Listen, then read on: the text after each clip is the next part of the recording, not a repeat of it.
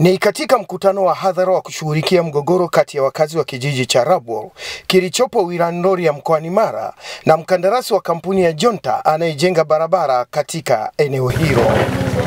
Milima yote ni mali ya serikali, hata ardhi ni mali ya serikali, hata wananchi pia ni mali ya serikali.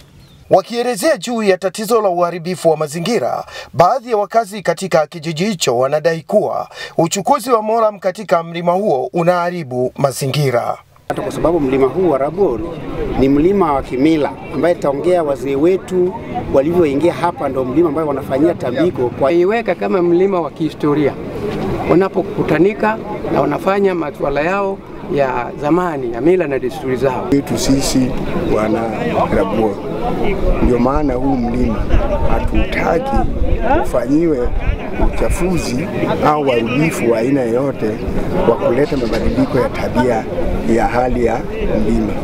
Uongozi wa kijiji cha Rabol na wakala wa barabara nchini TANROADS mkoa wa Mara unakiri kuwepo kwa makubaliano kati ya mkandarasi huyo na kijiji ili aweze kuchukua moram na kwenda kujenga barabara.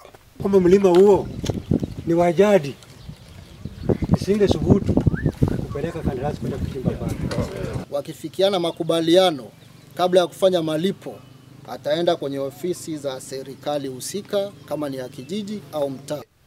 Mkuu wa wilaya ya Rorya Juma Chikoka amewataka wakazi katika eneo hilo kuacha kumzuia mkandarasi kujenga barabara hiyo ili waletee maendeleo.